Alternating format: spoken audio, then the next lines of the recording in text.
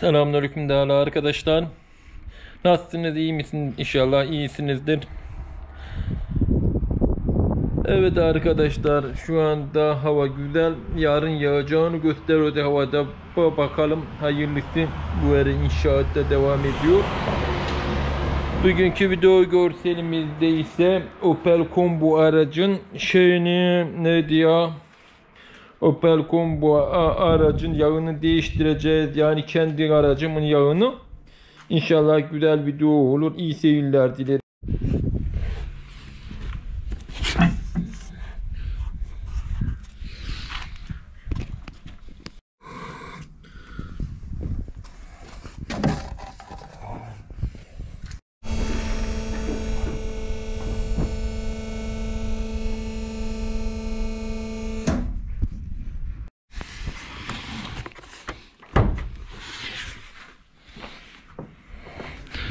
Aracımı 141 bin km'de işte yani 140 da değiştirmem gerekiyordu. 1000 km geçmişim.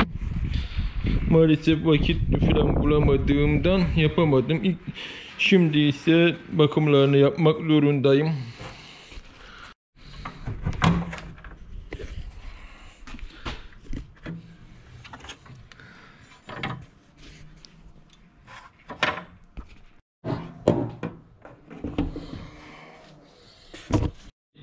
Öncelik yapacağımız iş yağ filtresi yağ, yani öncelik yağını boşaltacağız.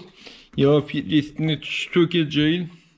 Ondan sonra A filtresini sökeceğiz. Mazot filtresi değiştirmiştim galiba. 10-20 binde bir mazot filtresini değiştiriyoruz. 10 binde bir de mazot yağ filtrelerini değiştiriyoruz. Yağ filtresi, hava filtresi, polen filtresi bir de motor yağını değiştireceğiz.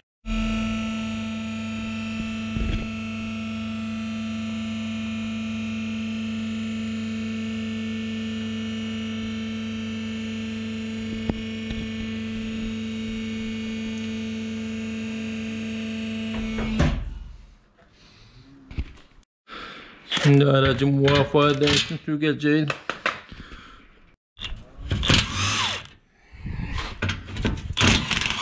Sadece 4 civatayla muvaffak dahi kolay bir şekilde sökebilirsiniz.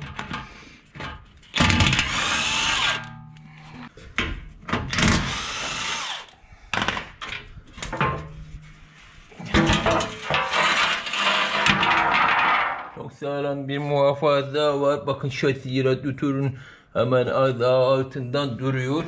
Dört tane civatayla rahat bir şekilde takabilirsiniz. Şimdi yağını boşaltacağız artık.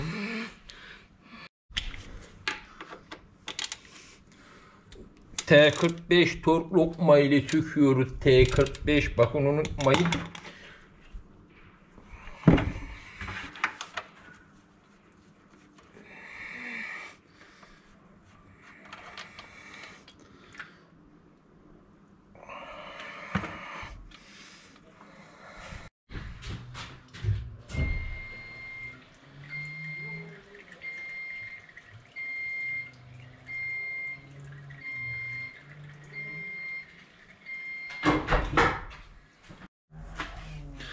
Bir yandan aracın yağı boşalırken yani aracın yağı boşaltırken diğer yandan yağ filtresini sökeceğiz.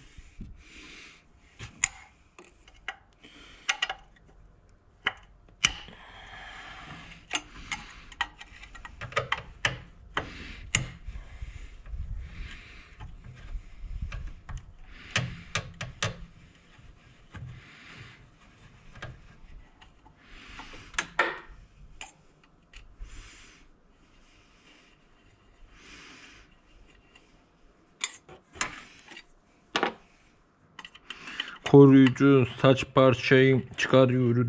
3 tane T25 ya da T27 tork ile sökebilirsiniz.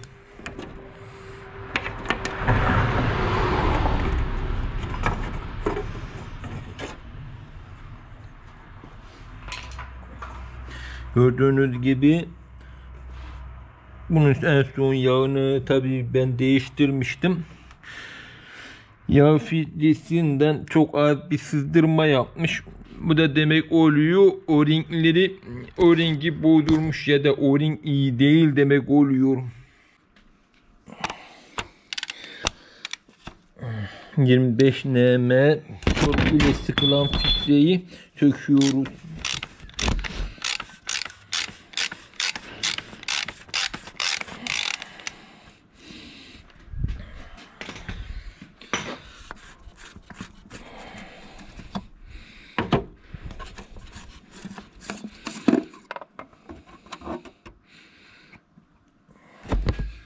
Şimdi modülesini sökeceğiz.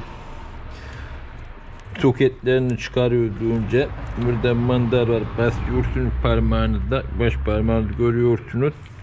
Bunu çıkarttık. Kalibratören gelen boru onu da çıkartıyoruz. Başka Başka yok. Bunu böyle yine dışarı çıkaracağız. O yüzden bu soketleri çıkartmamız gerekiyor.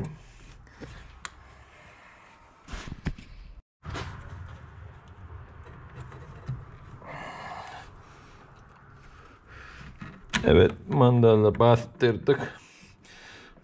İlk soket çıkarttık. Diğer bir tane daha var.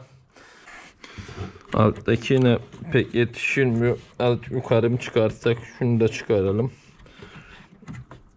Şöyle. Altta da fiş var tab var mı acaba? Tofaşlarda var ama bunda var mı bilmiyoruz. Çünkü bunlar aynı motorlar.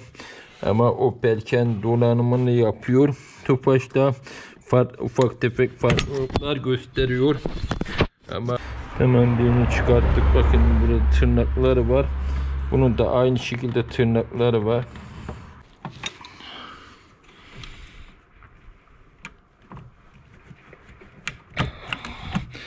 İşte her iki tarafını da bastırabilirseniz kolay çıkar.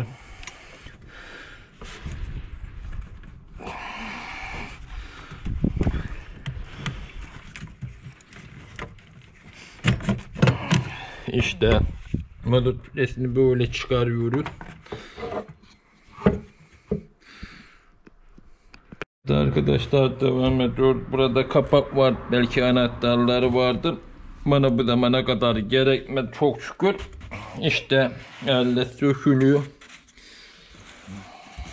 Üç burada bana bakıyor. Soket o yana bakıyor. Aynı şekilde takmanız gerekiyor.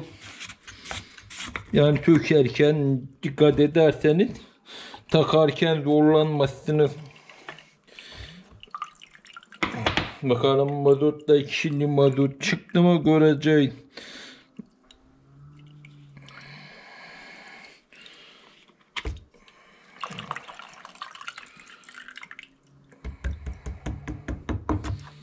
Evet, filtreyi görüyorsunuz.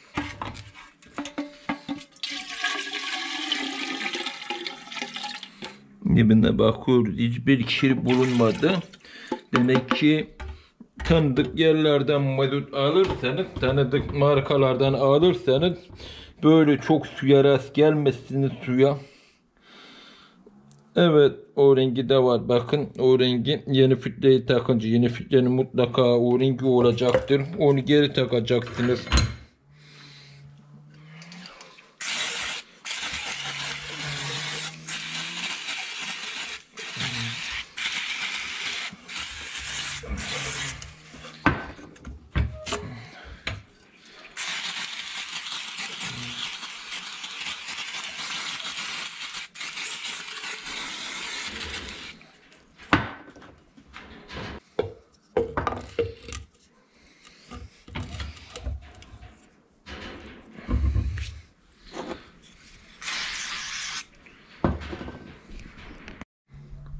Evet arkadaşlar içini güzel temizledik. Balata spreyiyle tabii. Şimdi bunu gene yerine takacağız artık yavaş yavaş. Evet devam ediyoruz. O-ringini takıyoruz. Yeni o-ringi. O-ringe biraz da yağ ekliyoruz. Sızdırmaması için Sızdırma olmaması için genelde sızdırma yapmıyor. Hiç rast gelmedim ama yağ filtresinde 2008'de rast gelmiştim. Yağ filtrelerde sızdırma kesin olmaması için orijinal takmasını tavsiye ederim. Eğer orijinal takmıyorsanız ben size nasıl yaptığımı göstereceğim bunu.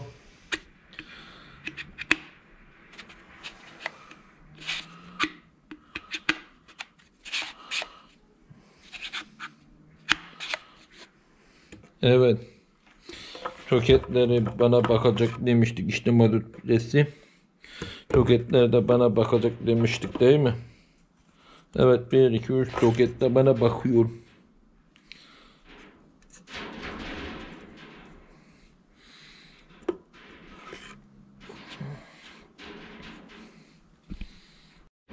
Bunu taktıktan sonra sağa doğru çevirin şöyle tamam. Ondan sonra soketler kendinize bakıyor. Aynı söktüğünüz pozisyonda Heh. şimdi de kapağını takıyoruz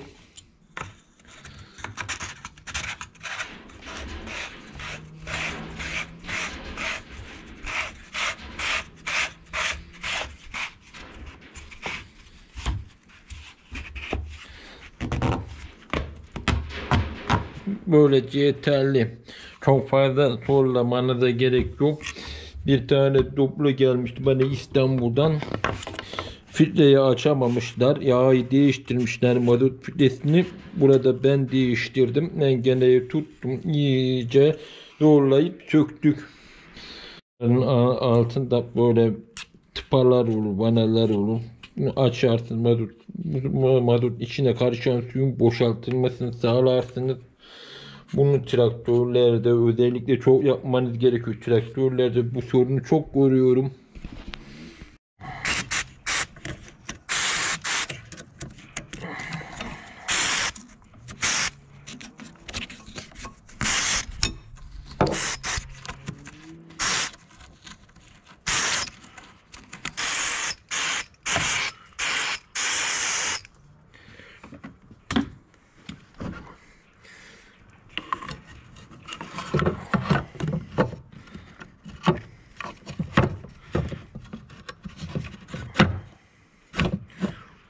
Yakıt filtresi burada çatalı var tam burada araya girecek şekilde takıyorsunuz.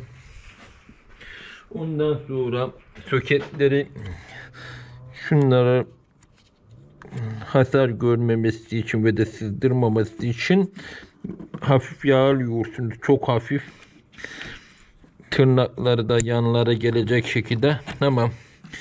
Diğerine geldik sıra.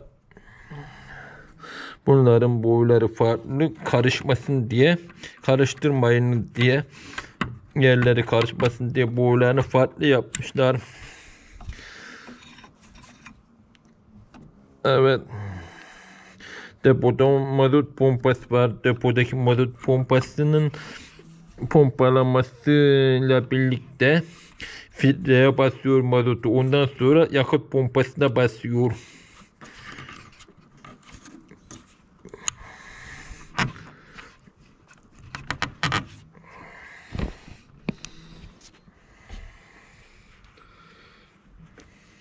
Şimdi elektrik soketi kaldı.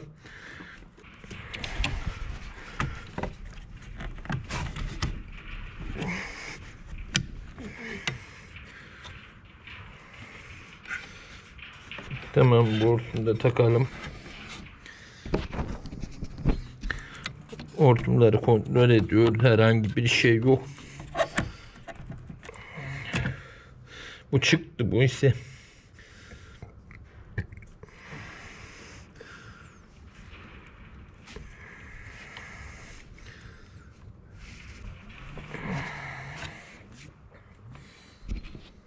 Evet arkadaşlar yakıt buradan geliyor giriş bura burası ise burası ise pompaya çıkış oluyor pompaya pompaya geliyor bu ise artan yakıtı geri depoya veriyor. Tahliye yani geri tahliye.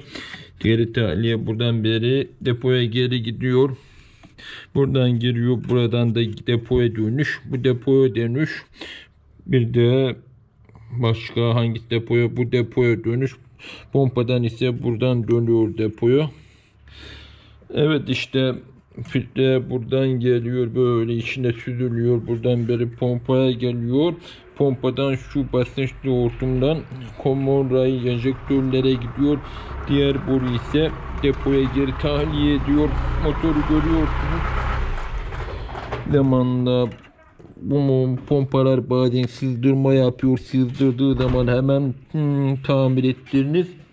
Hemen tamir ettiriniz. Altta radyatör boruları falan var. Ona mazot damlarsa çürütme yapar, kaçırma yapar. Hatta motor bile yiyebilirsiniz. Burada e, hafiften ıslaklıklar var. Şu boru girişlerinin rekorları olabilir. Şu anda bir şey yok ama ileride sızdırma artabilir. Tabi pompa da komple sökülebilir. Evet arkadaşlar şimdi hava filtresini değiştireceğiz. Şuradaki soketi bir çıkarayım. Çekerek hem eldekini bu yana çekiyorsunuz bunu hem de soket dışarı çekiyorsunuz. Her iki yöne iyi. Ondan sonra bunun altta bir de var. O yüzden bunu da sökmek lazım şunu.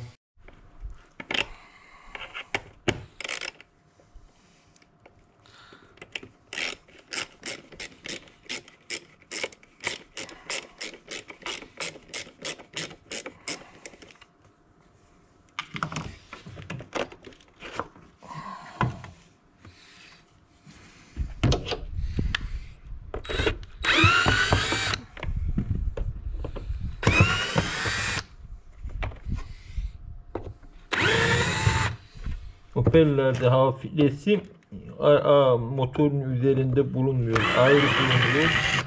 Ve gayet güzel yapmışlar. Hava filtresinde kırılma falan olmuyor ama fiyatlarda motor üzerinde titreşim yaptığı için filtresi zarar görüyor.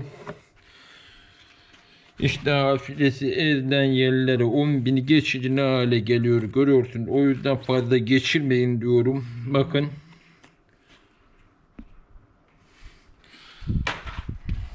İçine bakın kutusunun pırıl pırıl. Hiç toz kaçırmayın yine.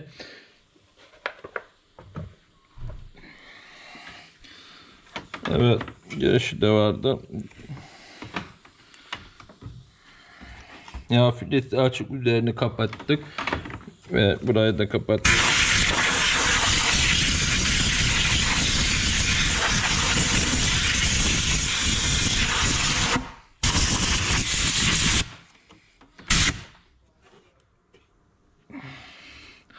Tamam bunu vururken burayı bir de yağ filesi açıksa oraları kapattınız.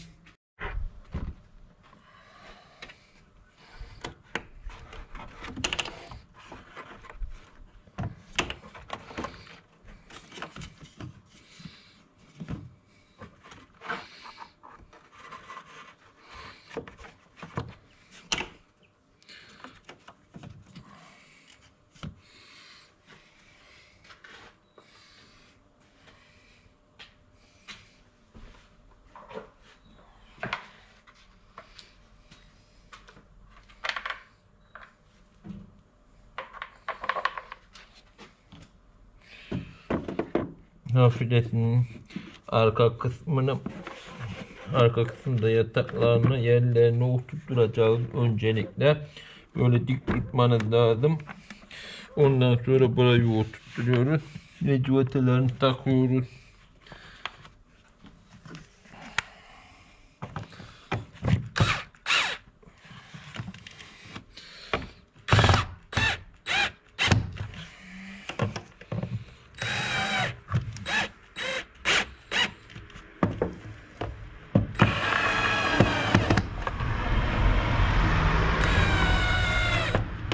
Tamam.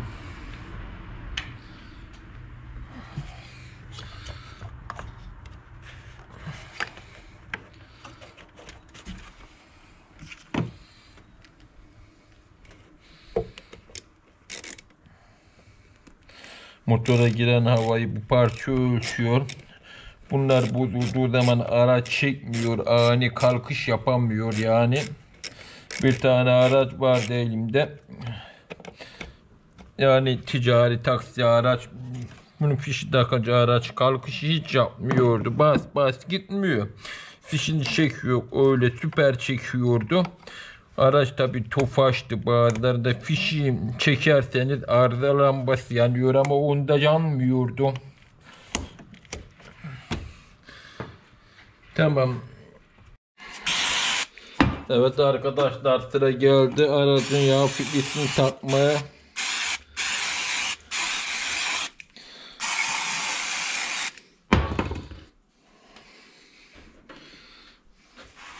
Aracınızın yağ filtresini özellikle yağ filtresini orijinal takmaya çalışınız. Sebebi ise araç çalışırken değil de aracı stop ettiğiniz zaman stop ettiğiniz yüksek basınçın gidecektir. Basıncın gitmesiyle filtrenin içindeki yağı dışarı sızdıracaktır. Bu yüzden orijinal ya da kaliteli markaları tercih ediniz. Eğer yan sanayi yapacaksanız, yan sanayi yapıyorsanız ya da ne yapmanız gerekiyor? Bazı ustalar karşı çıkabilir ama ben ne yapıyorum bakın. Bazı ustalar karşı çıkabilir. Bu iş sorumluluk ister arkadaşlar. Yağ sızdırmasına karşı yani yan sanayi falan fitle belki de orijinal de yapabilir. Eğer takıyorsanız bu musluk bandından bir kat bu iki oldu. Bu da üç kat yaparsınız. Ondan sonra sıfır o rengini yeni o rengini takarsınız. Bazı markalarda yani kalitesi olan o renklerde erime ezilme olacaktır. Bu da yaptığınız işten dolayı yağ boşalması eksilmesi olur. Ben 11.000 km'ye gittim. Araçta hiçbir yağ eksiltme olmadı. Bakın musluk bandı tam o ringin altında. Araca herhangi bir zararı yoktur. Buna karşı çıkan ustalar da olur tabi. Eğer o ring siz istiyorsanız orijinal takınız. Yine de bakın çok gündeme geçiyor tamam. Orijinal takınız ama yine de aracını da her 10 binde bir yağını değiştirin ve de her 1000 km veya yani yılda 2-3 kere kapıda açıp filtrenin tarafına bir bakın yağ sızdırma var mı diye. Ben 2008'de Opel Combo 0 almıştım 2008'de. Onun yağını değiştirmiştim. Hayatta ilk defa garantisi olmasına rağmen servise götürmeyip kendim değiştirmiştim. Ee, değiştirdikten sonra aracın altında garajda yağ damladığını fark ettim. Yani hemen değil. 2-3 hafta sonra yaptı bunu tabi. Geri söktüm. Aynen bu musluk bandından sarıp geri taktım. Bir daha kaçırmadı. İşte böyle tecrübe, bunu şekilde tecrübe edebiliyoruz. Evet devam edelim. O-ring olması diye sürüyoruz. Aracınız aşırı kilometre yaptıktan sonra o-ring kaçıracaktır. Dikkat edin. Birçok araçta kaçırıyor. Sıfır o fark etmez. Bakın ben musluk bandı takviyesi yaptım. Bazı markalara da dikkat edin. Eğer sızdırmayan marka ise o-ring takmanıza belki gerek olmayabilir ama ben hepsine takıyorum. Genelde böyle daha güzel olacaktır. Bakın şimdi sıkışmaya başladı. Yani o-ring sıkışıyor.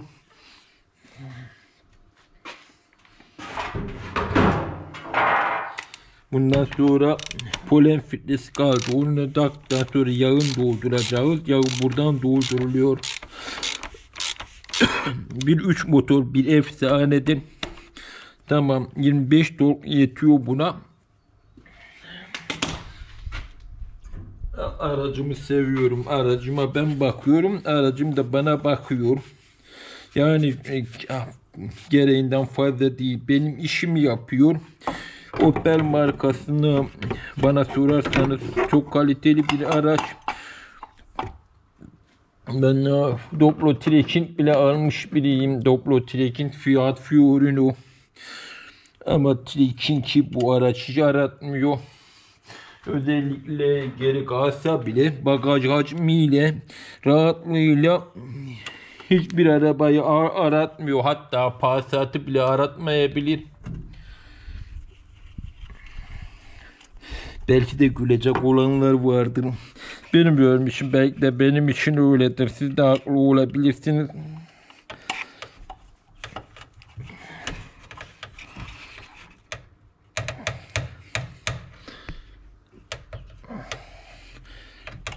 Seyyarın şarjı bitmeye başlamış galiba. İnatçı geri kararlıyor. Ben açıyorum geri kararlıyor. Bitmiş galiba. Hemen bitireyim karanlık olmadan.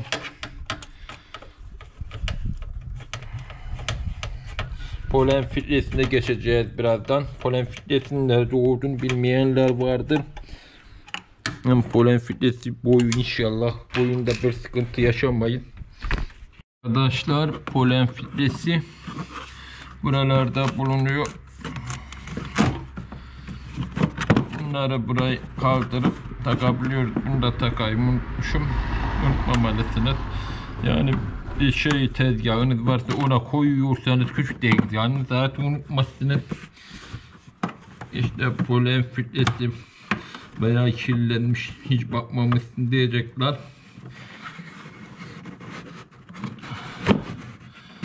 İşte iki tane tırnak var.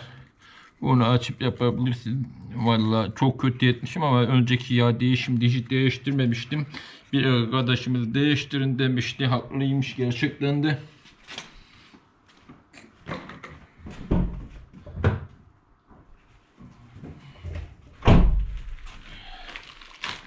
Bu filtreyi de bayağı büyük üretmişler.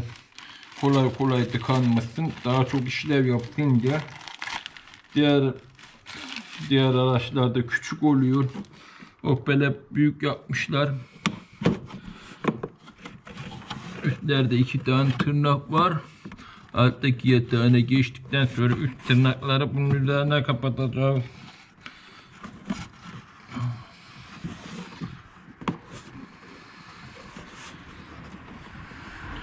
Takarken kibar ve dikkatli olmak gerekiyor. Alt tarafını içeri doğru iteceğiz. O yana doğru. Yatağına girecek. Tamamdır.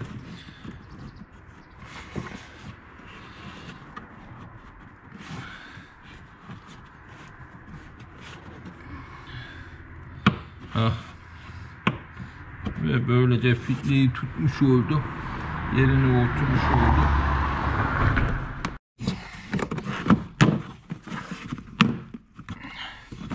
Bunun burada da bakın kırmışlar.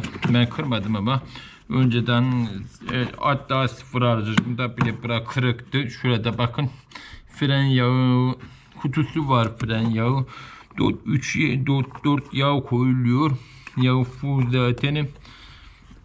Bakın burayı kopartmışlar. Bakın benim Opel sıfır aldım. Opel Combo aracımda da öyle kırıktı. Bu sebeple bir daha servise yani ilk yağ değişimini bile servise götürmedim. Ne yalan konuşayım. Gerçek sebebi de buydu.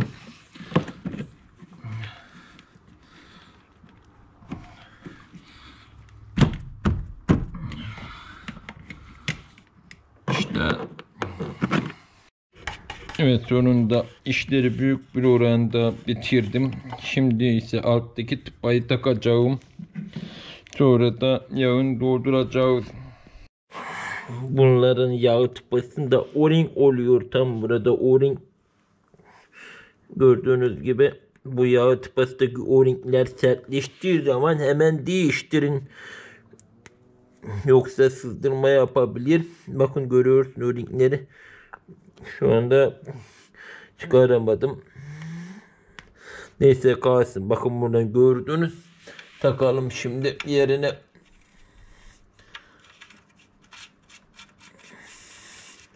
Hatta tıpanın kanatları honi şeklinde açılırsa bu sebeple de değiştiriniz. İyi, iyi bir kapatma yapmayabilir.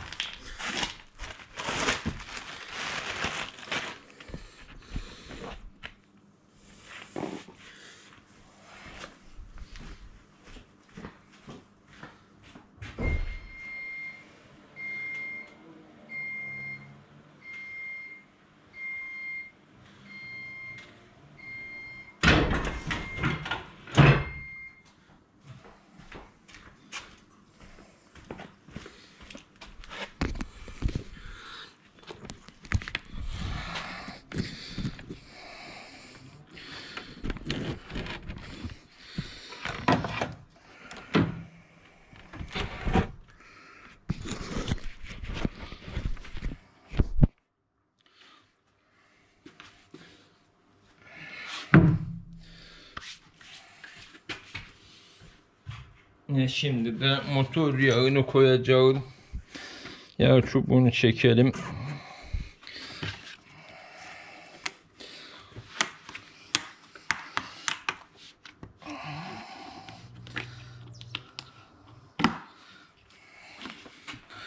Evet.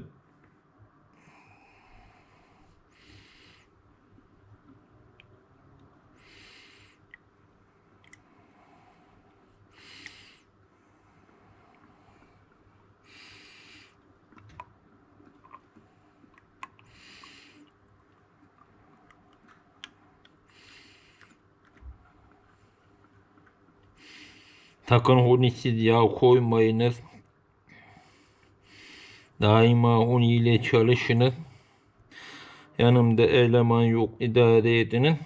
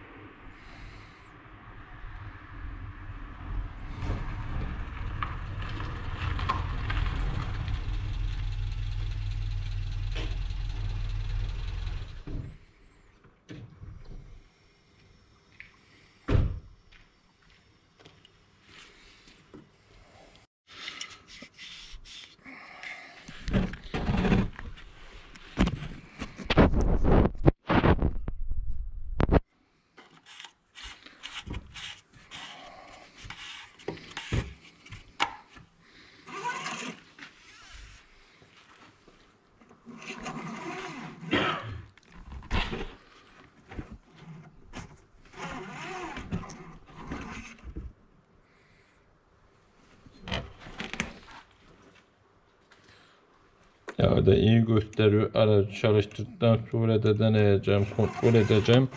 Önce havasını almak lazım. Bunun havasını nasıl alıyoruz? Kontağı açıyoruz. Dıt ediyor. O ses durana kadar bekliyoruz. Bunu 3 defa yapıyoruz. Mesela açayım ses duyacak mısınız? Bakalım.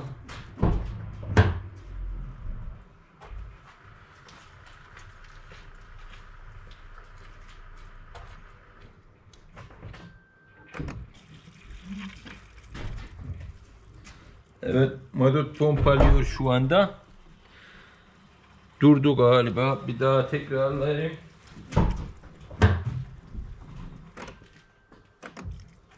Yapıyor mu? He, durdu mu? Evet, bir daha yapayım. Durdu mu? Çok çabuk durmuş. Biraz uzun sürecekti. Durdu mu? He. Yok bir de boştu. Bu kadar galiba. Şimdi marş basacağım. Bakalım araç çalışacak mı? Tabii dur biraz daha kısa uzun yapması lazım. Burada kısa yapıyor. Umarım bir aksilik olmaz.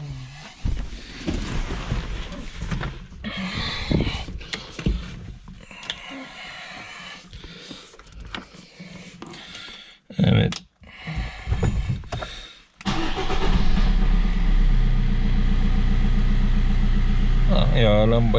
Söndü. Araç daha çalışıyor. Oto bagaj.